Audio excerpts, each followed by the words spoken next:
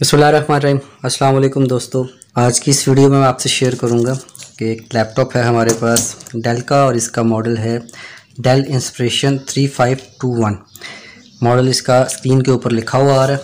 तो इसका हम जो है, वो कीबोर्ड रिप्लेस करेंगे आज कि किस तरह से इसका कीबोर्ड हमें चेंज करना है। ये कीबोर्ड थोड़ा मसला कर रहा था तो कस्टमर हमें दे के गए हैं कि हमें कीबोर्ड रिप्लेस करना है। ये वाला कीबोर्ड हमने यहाँ पर लगाना है। तो हम देखेंगे कि किस तरह से हमें ये वाला कीबोर्ड उतारना है। सबसे पहले तो देखें, जो लैपटॉप जिसका हमें कीबोर्ड रिप्लेस करना, इसकी जो साइड्स हैं ये वाली सामने, इसके अंदर क्लिप्स लगे हैं।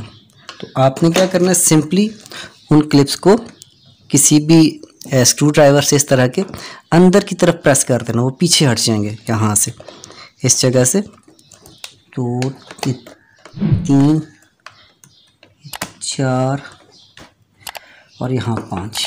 ये जब अंदर की तरफ़ आप इसको कर देंगे तो पीछे हट जाएगा इसको। तो इसका जो क्लिप है क्लिप ने रिलीज़ कर दिया कीबोर्ड को। इस स्क्रू ड्राइवर को इस तरह किसी चीज़ को अंदर की तरफ़ लेके जाके ऊपर खींचेंगे तो ये हमें कीबोर्ड का रिलीज़ करवा देगा इंशाल्लाह। तो बड़े आराम से, ज़ोर से चीना चपटी नहीं करनी है आराम के साथ देखिए, ये रिलीज़ हो गए। कीबोर्ड और यहाँ इस इन जगहों पर इन जगहों पर मैं आपसे शेयर करूँ यहाँ पर क्लिप्स अंदर की तरफ़ किए हैं तो आपने कीबोर्ड को इस तरफ़, इस डायरेक्शन में ऊपर की तरफ़ आराम से आप खींचेंगे। यहाँ से पकड़ के ऊपर की तरफ़ खींची ये। तो यहाँ से अगर आप उल्टा लेंगे तो ये देखिए, यहाँ से ये कीबोर्ड अपने क्लिप के साथ टाइट हुआ हुआ तो इस क्लिप को ऊपर की तरफ़ खींचेंगे आराम से, इस तरह से। तो ये जो है, ये स्ट्रिप इसकी रिलीज़ हो जाएगी। तो ये वो कीबोर्ड है जो एरर दे रहा था, हम इसको रिप्लेस करेंगे। इस नए कीबोर्ड से तो ये है नया कीबोर्ड ये पुराने वाला है और ये नया कीबोर्ड है।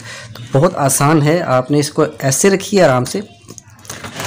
और यहाँ से इसकी जो स्ट्रिप है, इसको अंदर की तरफ़ रख के अंदर की तरफ़ दबाइए। और यहाँ से इसके जो क्लिप है, इसको नीचे दबा दीजिए और ये बंद हो गया।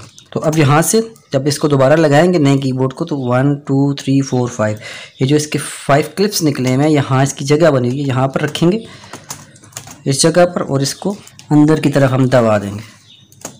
ये देखिए, अंदर की तरफ़ दबाने के बाद इसको नीचे बिठा दीजिए थोड़ा सा ज़ोर लगा के लाइक दिस आवाज़ आपको आ रही होगी उसके बैठने की।